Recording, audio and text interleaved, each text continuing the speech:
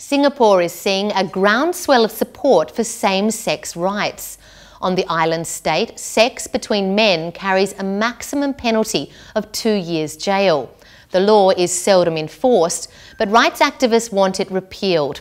As Satish Cheney reports, a record 21,000 people attended a recent event to support same sex rights. The majority of the crowd came dressed to form a sea of pink, but some decided to show a bit more creativity. And there was certainly no shortage of cute pets lending their support to the cause as well. This is the fifth annual Pink Dot event held in Singapore. Uh, well, my friend is uh, gay, so I'm here to just you know spend time with him and chill out.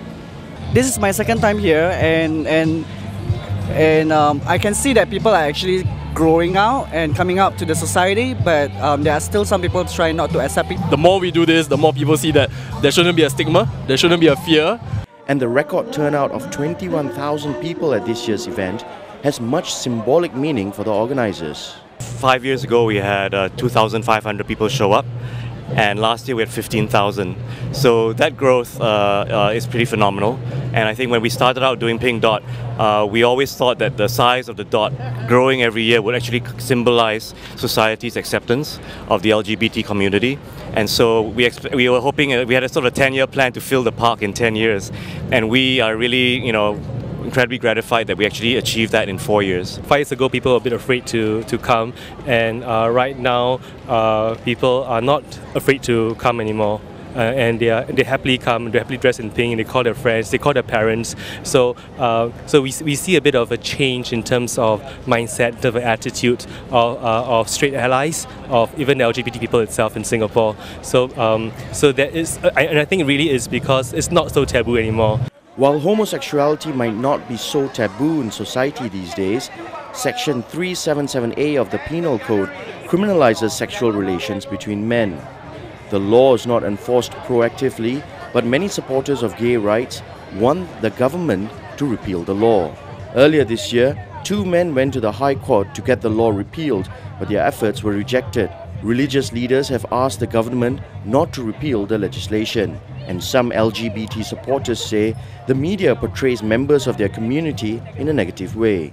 So, what actually happens is that um, LGBT individuals uh, have a very skewed uh, depiction on the media. So people who are not uh, exposed, let's say on, on, social media, this is the impression that they get. So, um, so characters that are, are happy, uh, lead normal life, that are useful in society are not allowed on mainstream media.